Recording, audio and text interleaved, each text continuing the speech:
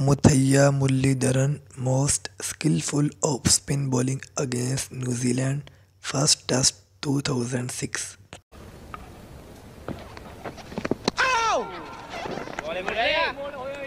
And just looking for this ball from uh.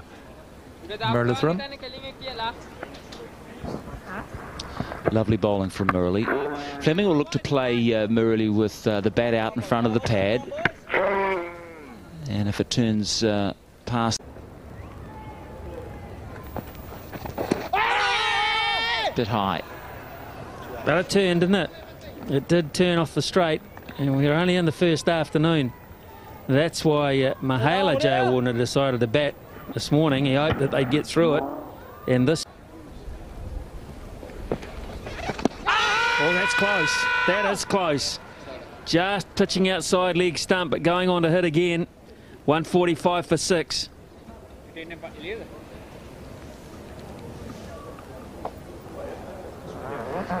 Skytrack, yep. Bang on, Smithy. Pitching outside, so it's not out, no matter what the ball is doing.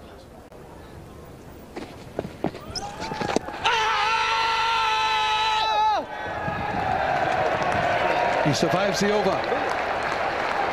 206 for 9. Lead is 52.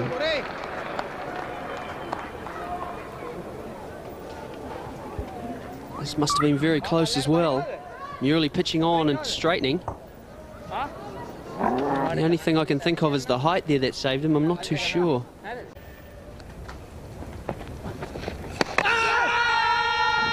That was the Doistrip.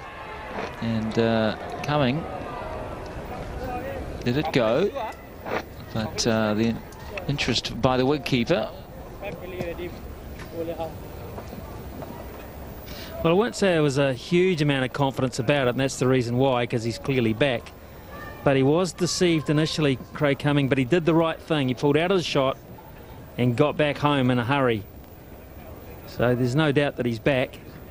So little uh, Prasanna Jayawardene won't have a stumping to put alongside his statistics.